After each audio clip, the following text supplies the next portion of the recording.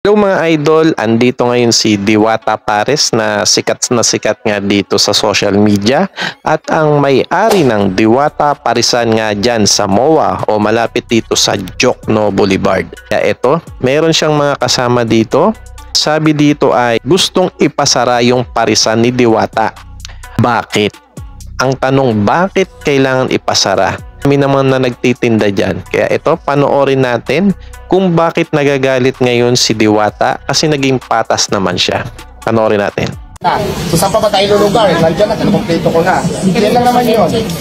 Di ba ako wala akong inaano kasi right yan eh, taga si tayo. Pero sana lang maging patas tayo. Kasi napapansin ko talaga ngayon, super ako lang lagi nakikita nyo.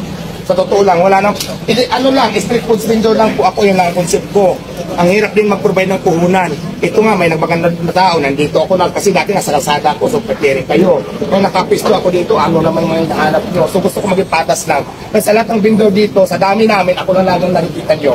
Yun lang naman yun eh, maging patas lang sana tayo. Pero ako wala akong wala akong ano doon sa inyo ha, pero sana na maging patas po tayo ha.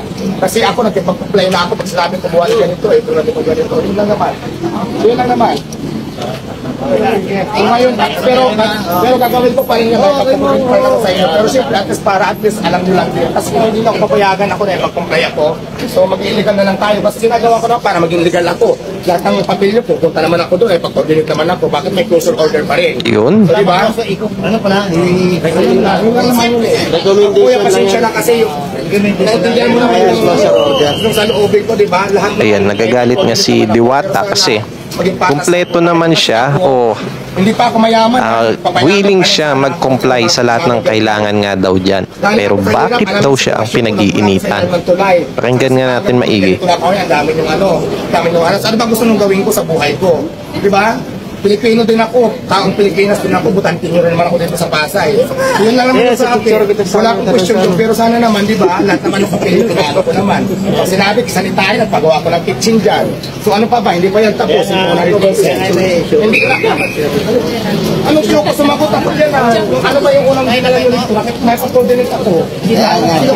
Binasa ko sa City Hall. Mo yan. Ah, naisip nila, pupunta ka sa Mayor's Office. Dapat sa sinabigay mo ng copy package. Sige, sige lang, basta pupunta ako doon. Kailan ako pupunta? Mamaya? Dito na ako kay Diwata, oh. Sa may service na. O sige, kasi di ba, para isa lang nyo. May endorse na kami oras. Hindi kasi mag-closure kayo na ipag-comply naman ako. Hindi naman tama yung ganun siguro bilang isang mamaya. Saan ba ako lulukan na ba gusto nyo mangyari sa buhay ko? Yan lang naman yun eh. Kasi ako lahat ng sinasabi yun eh, pag-comply po ako, lahat ng sinasabi nyo, lahat ng requirements na kailangan natin, kaya pag-coordinate naman po ako sa inyo. Tapos nakakalungkot lang kasi may closure ako. Eh baka sa dami ng vendors, ako lang lagi nakikita nyo. Ito ba dito na malalaking tindahan dyan? Mayroon bang mga Mukhang ipapasara ng mga ata sa Diwata, ah. sa akin. Yun, yun lang naman sa ating kuya, maging patas lang po sana tayo. Ako lang akong question doon, pero sana naman lahat yun na lang. Kasi ako naman lahat ng pinuprovide ko, ito ang sinasabi nyo, meron, sinalo ko naman. So, kasi ang nangyayari kasi parang hindi na yung mga ano. Huwag naman sana ipasara. Laban lang, Diwata, laban lang. Kasi alam mo sa totoo lang na Kaya mo yan, Diwata, kaya pag-coordinate ako sa inyo. Lahat-lahat. Coordinate Kaya mo yan, Diwata, kaya mo yan. Bawal masisog, bawal masisog. Kaya mo yan, Diwata. Alik ka, walang alik. ito ha, ito, ito, ito, vlog ba to? Ako ito, wala akong question. Pero sana naman maging patas lang to yung laban. Kasi may closure order na ipag-comply naman tayo. Lahat ng requirements naman, kung kaya ko mag-provide, pinoprovide ko naman. So, di ba yun lang naman eh.